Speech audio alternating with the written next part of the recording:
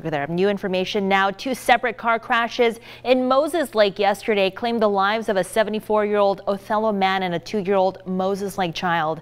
According to Grant County Sheriff's Office, 74-year-old Rosario Ramos Dominguez was hit head-on around 8.30 in the morning yesterday. A car heading eastbound crossed the center line and hit Dominguez's car. He was then transported to Samaritan Hospital where he was later pronounced dead. The driver of the car that hit him was taken to the hospital and later released.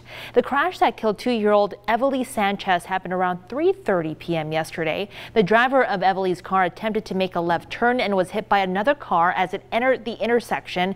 Everyone else involved in the crash are expected to recover. Grant County Sheriff Tom Jones saying in a statement today it was a tragic, heartbreaking day for so many. Please join us in support and heartfelt condolences to the loved ones of those lost yesterday. Investigations to both crashes still ongoing tonight.